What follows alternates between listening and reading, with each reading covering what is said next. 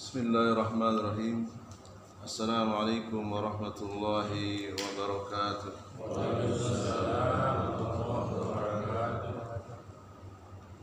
إن الحمد لله نحمده ونستعينه ونستهدي ونستغفره ونتوب إليه ونعوذ بالله من سرور أنفسنا ومن سيئات أعمالنا من يهده الله فلا مضل له ومن يضلل فلا هادي له.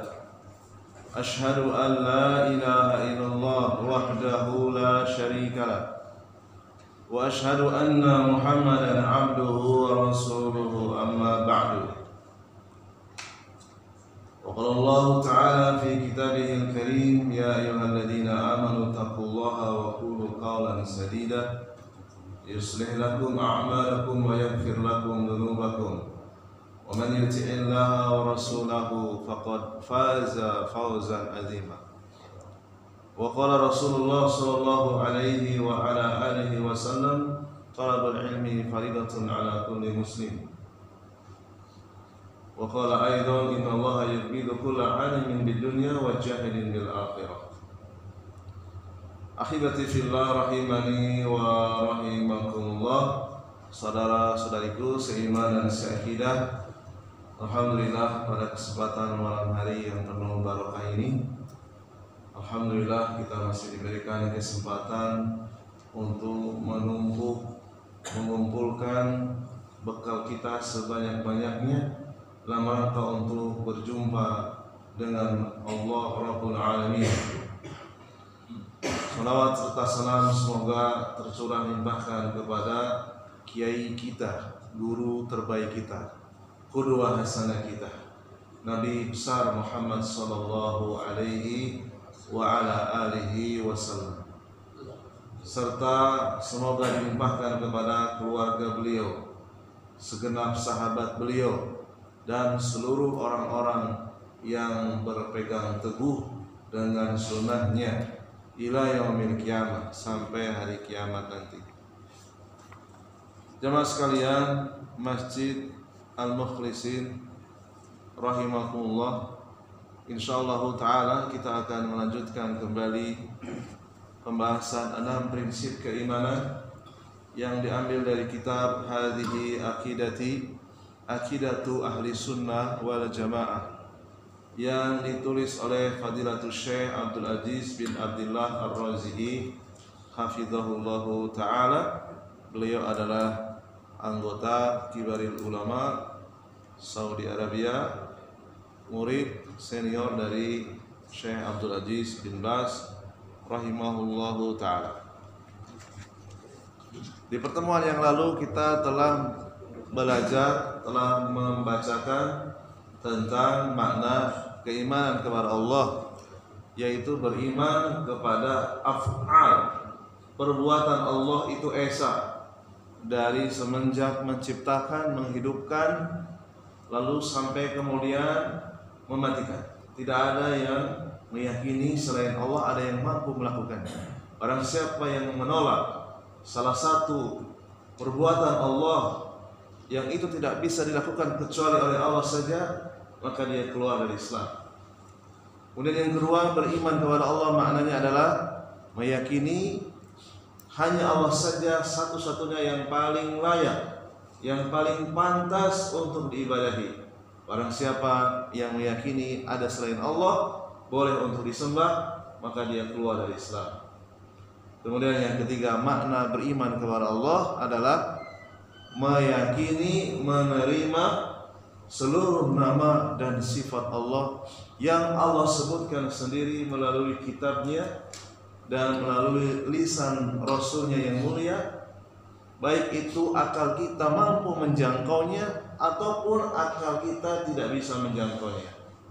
Jika datang nama-nama dan sifat Allah maka kita terima maka kita ucapkan sami'na wa tanpa merubah teksnya dan tanpa merubah arti yang dari arti yang sebenarnya. Baik selanjutnya al-imanu bil malaikati. Beriman kepada para malaikat. wa u'minu bil malaikati wa annahum askhasun wa zawatu mahsusah beriman adanya para malaikat sesungguhnya malaikat itu adalah zat yang memiliki jasad. Ya. zat yang memiliki jasad. Dawatu mahsusah di antara mereka ada yang memiliki sayap dengan jumlah sayap yang berbeda-beda.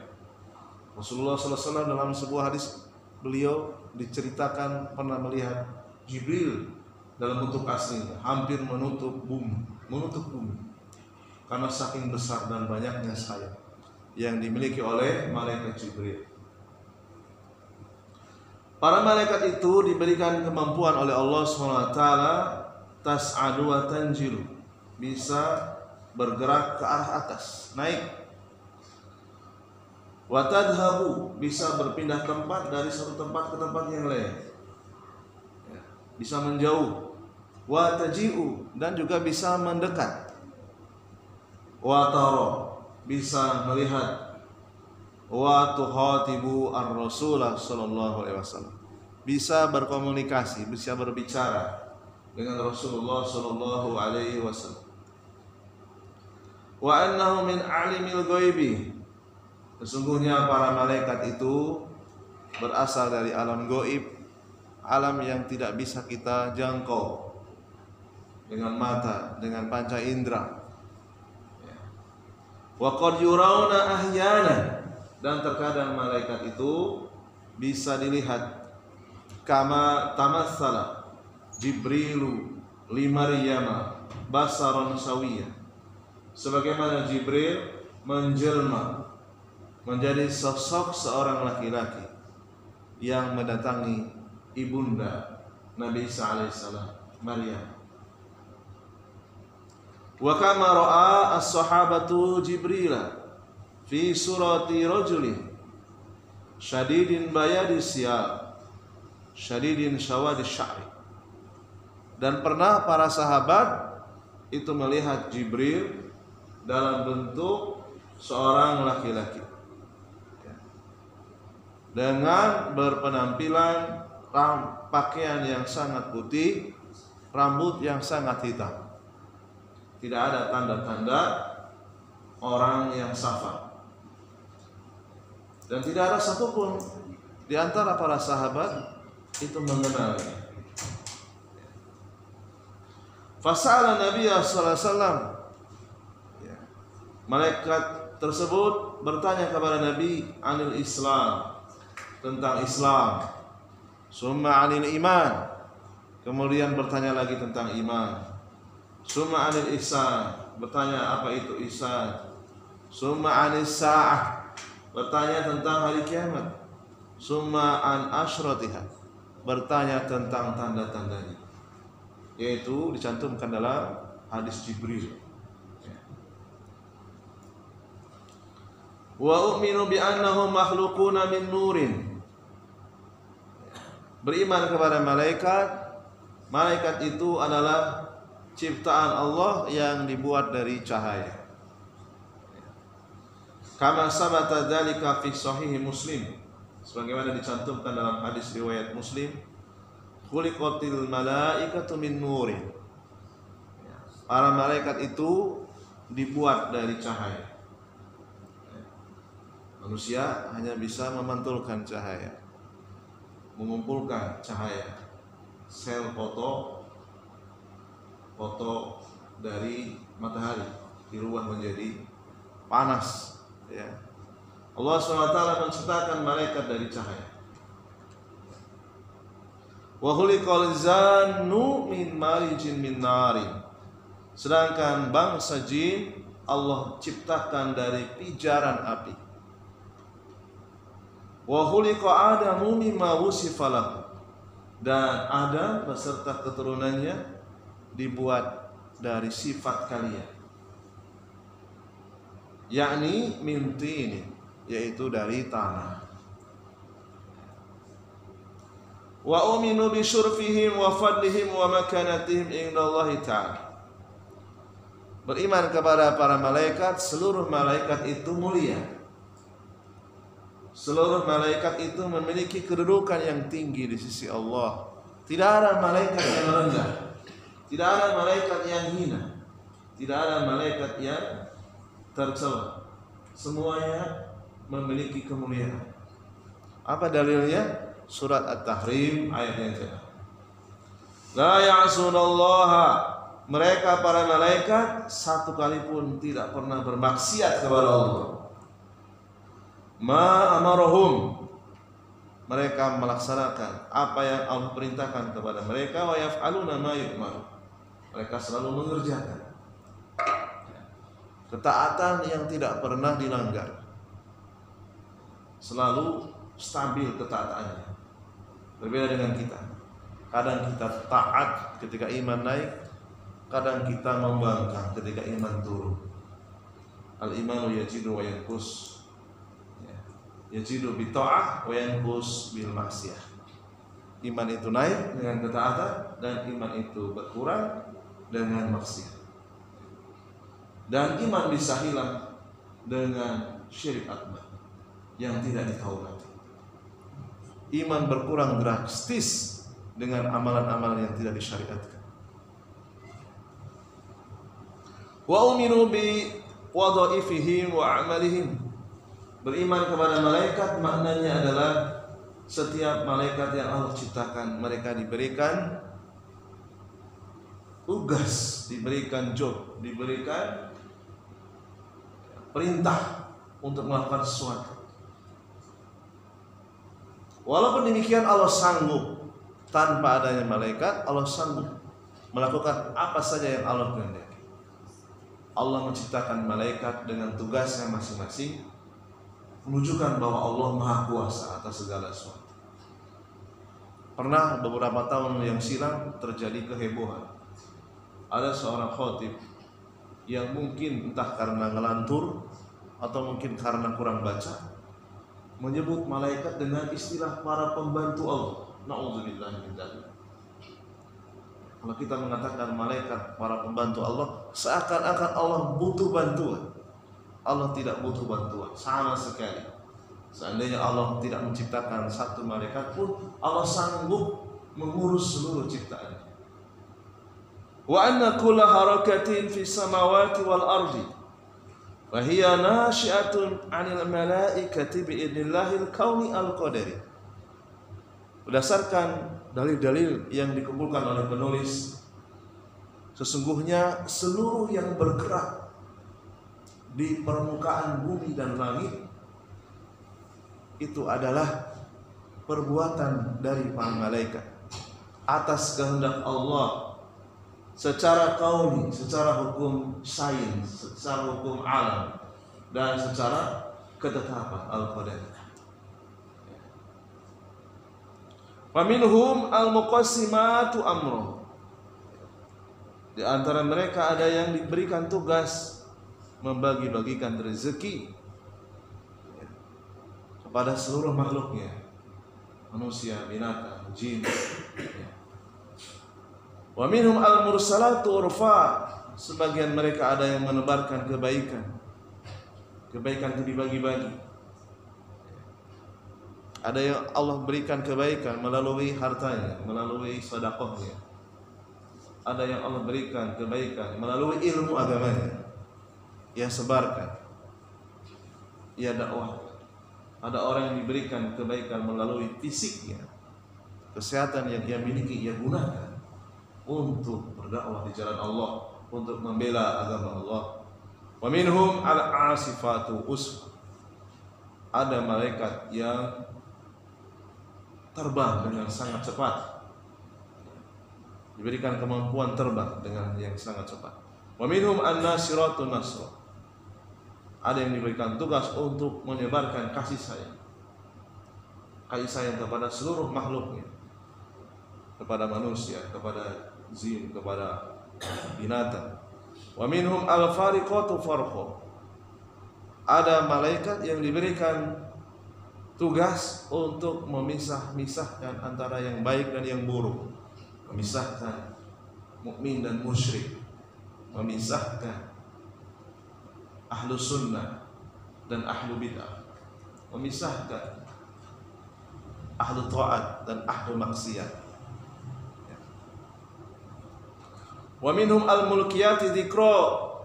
Ada yang diberikan tugas membagikan wahyu menyerahkan wahyu. Wa minhum an-nazi'atu gharqa. Ada di antara mereka yang diberikan tugas mencabut nyawa dengan sangat kasar dengan cara yang sangat menyakitkan. Wa minhum an-nasitatu nasto ada malaikat yang diberikan tugas oleh Allah mencabut nyawa dengan sangat lembut. Wa minhum as-sabihatu sabha. Ada yang diperintah oleh Allah untuk turun dari langit ke bumi. Wa minhum as-sabiqatu sabqo. Ada yang saling berlomba-lomba. Wa minhum al-mudabiratu amro. Ada yang mengatur segala urusan dunia. Wa minhum as-safatu safa. Ada yang berbaris-baris.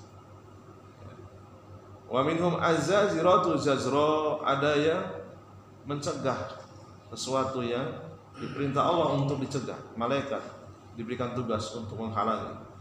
Wa minhum at-taliyatu dzikra. Ada yang diberikan tugas membacakan peringatan. Wa minhum hamlatul arsy. Ada di antara mereka yang diberikan tugas memikul arsh. Wahum arba'atu fi dunia. Sebelum terjadi hari kiamat, ada empat malaikat yang memikul arsh. Makhluk ciptaan Allah yang paling besar di atas tujuh langit, di atas samudera air. Ya. Dalilnya adalah surat Al-Haqqah ayat yang ke-17. Wa fi yaumil qiyamah yahmilu arsya thamaniyah. Sementara nanti pada hari kiamat empat malaikat tadi bertambah menjadi delapan. Ada delapan pemikul arsh. Wal malaku ala arjaiha wa yahmilu arsya rabbika fawqahum yawma idzin thamaniyah. Dan satu malaikat berada di pojok dan memikul arsh Tuhanmu di atas mereka pada hari kiamat sejumlah delapan malaikat. Al-karubiyuna alladziina haula al-arsy wa hum ahamlatil arsy min asrafil malaikah. Ada malaikat yang disebut dengan al-karubiyun, malaikat yang sangat dekat dengan Allah, berada di sekitar arsy bersamaan dengan malaikat pemikul arsh dan termasuk di antara malaikat yang memiliki keutamaan. Pekerjaan mereka apa? Wahum yusabbihunallah. Mereka tugasnya hanya mengucapkan subhanallah subhanallah, memuji Allah.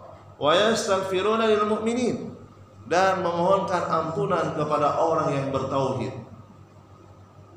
Jadi di antara faidah kita mempelajari tauhid dan mengamalkan tauhid, kita mendapatkan doa khusus dari malaikat al-karubiyu. Malaikat yang berada di sekitar arsy.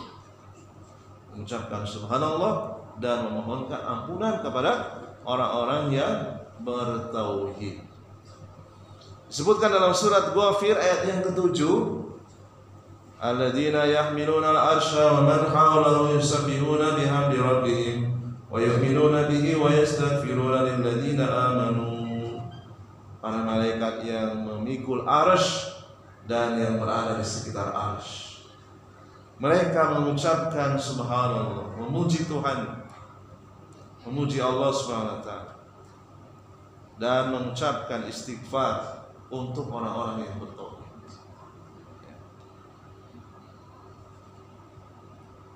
Kemudian penulis rahimahullah hafidahullah mengumpulkan dalil-dalil yang lainnya. Wa minhum di antara malaikat ada yang diberikan tugas khusus al-muwakkilu bisamsi menjaga matahari. Ya, berdasarkan pengetahuan ilmu pasti ilmu fisika gitu ya. Matahari itu dibandingkan dengan bumi seperti bola basket dengan biji kedelai. Malaikat ada yang menjaga matahari. Sebesar apa malaikat? Ya, kita bisa bayangkan bumi yang kita pijak ini seperti biji kedelai dibandingkan dengan matahari. Ada malaikat yang diberikan tugas khusus menjaga matahari sehingga tidak bertabrakan dengan bintang-bintang yang lain. Wa minhum al-muwakilu bil qamar. Ada yang diberikan tugas khusus menjaga bulan. Bulan itu teratur. Memiliki orbit peredaran yang sudah ditetapkan oleh Allah. Wa minhu al-muwakilu bin nujum. Ada di antara para malaikat yang diberikan tugas untuk menjaga bintang-bintang. Wa minhum al-muwakilu bil jannati wa ida'in na'imi laha dan ada malaikat yang diberikan tugas menjaga surga dan menyiapkan segala kenikmatan yang ada di dalam menyiapkan bidadari, menyiapkan makan kasur-kasur yang empuk. Rumah-rumah yang mewah. Kendaraan yang mewah. Dan apa saja yang diinginkan oleh para penghuninya. Sudah disiapkan. Surga sudah ada. Wa minhum al-muwakilu bin nari wa idadil wa idadil adabi li ahliha. Demikian juga ada malaikat yang diberikan tugas untuk menjaga neraka dan telah menyiapkan segala jenis siksaan-siksaan yang ada di dalamnya. Wa minhum al-muwakilu bil jabal. Ada di antara mereka yang diberikan tugas menjaga gunung-gunung yang ada di permukaan. Maka orang yang mempelajari pokok-pokok keimanan tidaklah mungkin dia memberikan sesajen memberikan sesuatu kepada gunung karena gunung sudah ada yang menjaganya siapa malaikat sudah ada yang menjaganya untuk apa kita memberikan persembahan? Kepada penghuni gunung. Kemudian berikutnya wa minhum al muwakilu bi bani adama. Ada yang diberikan tugas menyertai keturunan Adam. Al muwakilu bin nutfati yudabiru amroha hatta yatimma khalqaha. Diberikan tugas untuk mengatur percampuran sperma laki-laki dan perempuan entah sampai kemudian sempurna menjadi janin ataupun mati sebelum waktunya. Ya. wa minhum al muwakilu bihibti bani adam. Ada yang diberikan tugas khusus menjaga keturunan Adam. Kita kalau tidak dijaga barangkali kita sudah binasa. Sudah di sudah di sudah dihancurkan. Sudah dirusak oleh makhluk-makhluk yang tidak suka dengan manusia ya. Wa minhum al-muwakilu bil kitabati a'malil ibadi wal insi. Dan di antara mereka ada yang diberikan tugas mencatat seluruh perbuatan hamba-hambanya dari bangsa jin dan bangsa manusia.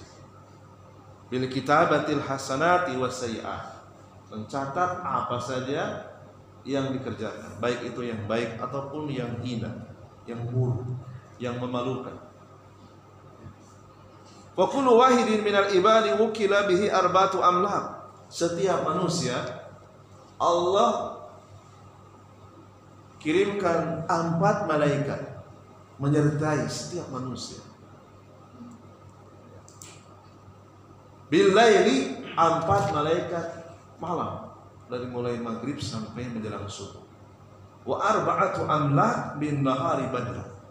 Kemudian gantian subuh sampai menjelang maghrib.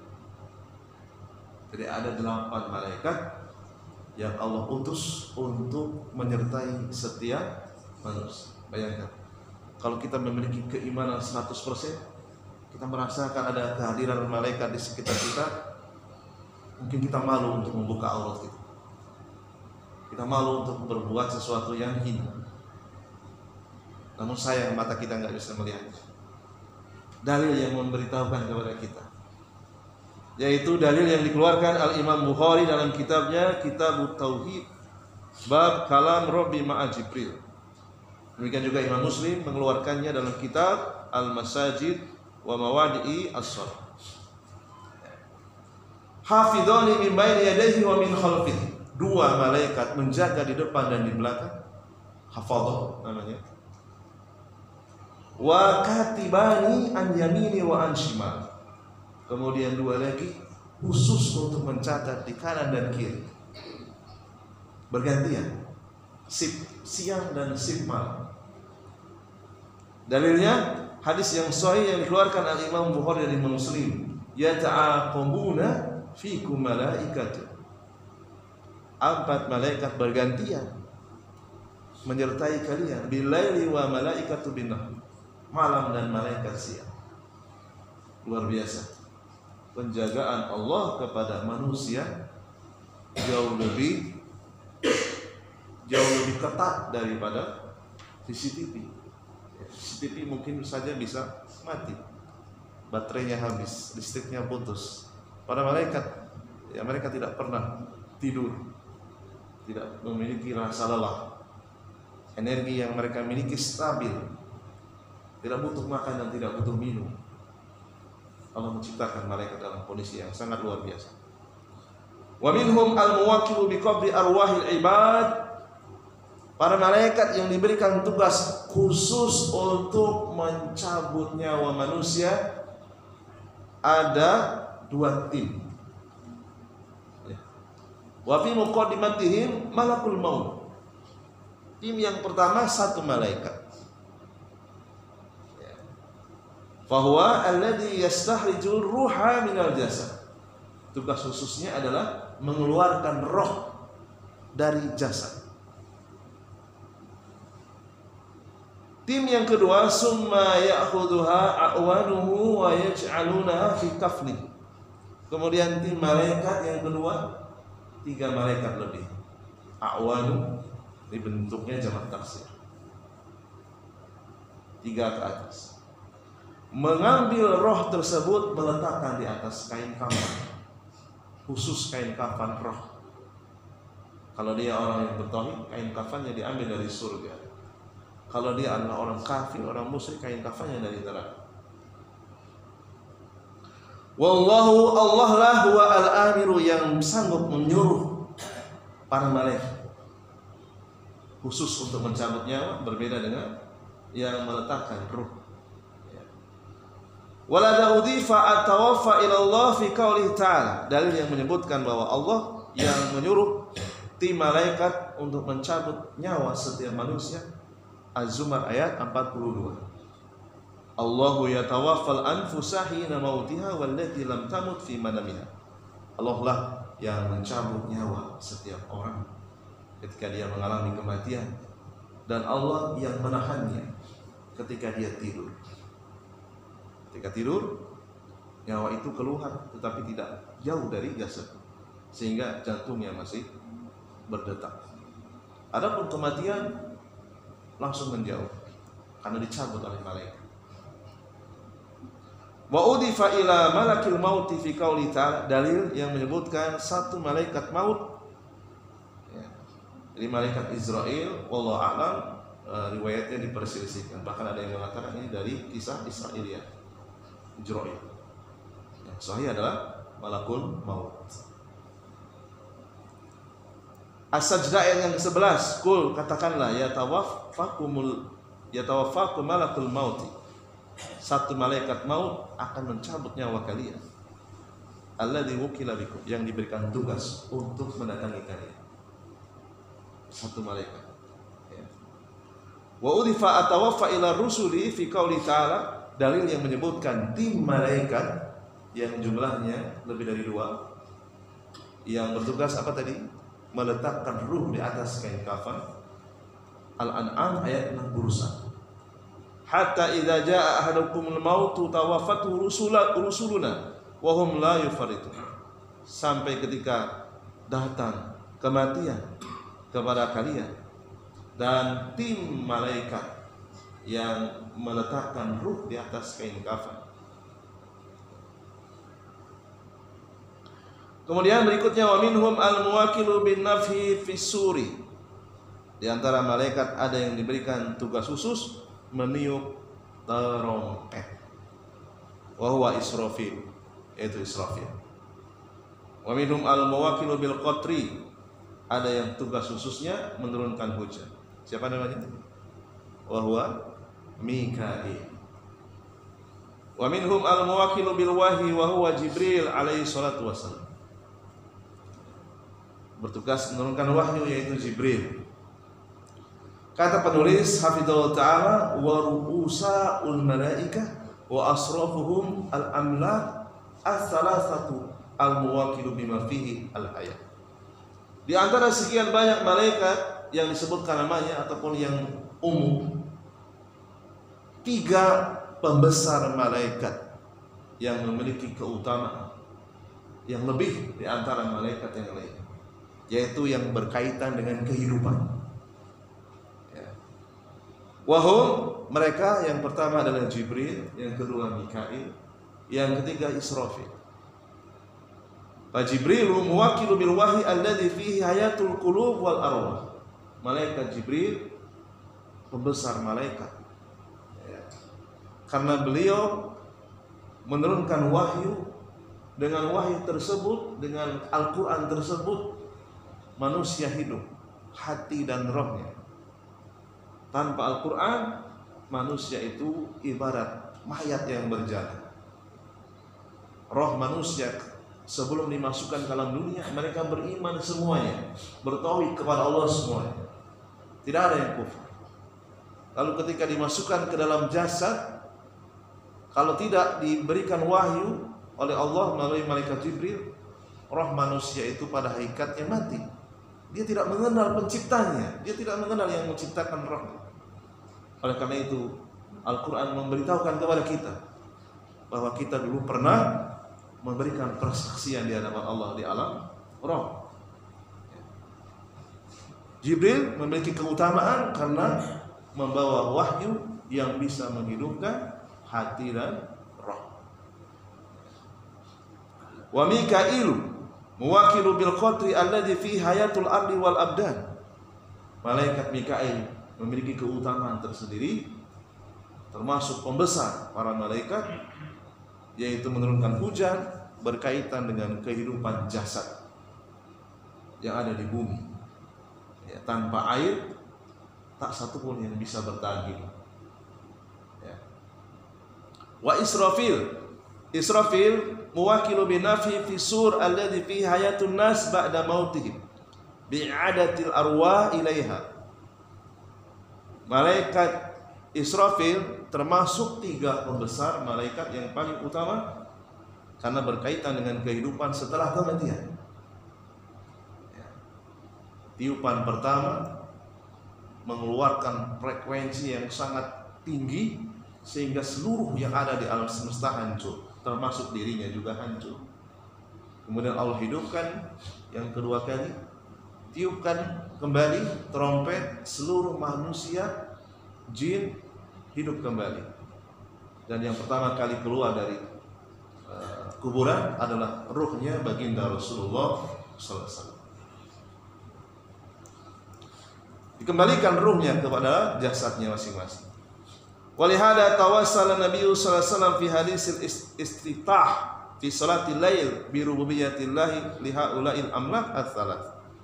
Disebutkan dalam hadis yang sahih yang dikeluarkan Imam Muslim dalam kitab Salatil Musafirin.